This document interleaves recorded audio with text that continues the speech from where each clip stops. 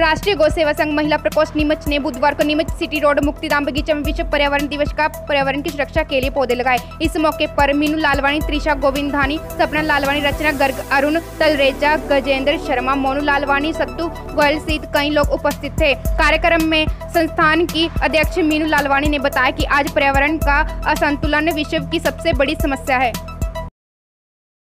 Latest news देखने के लिए प्राइम ब्रेकिंग न्यूज़ चैनल को सब्सक्राइब करना न भूलें और साथ ही डेली अपडेट्स पाने के लिए बेल आइकन को प्रेस करें।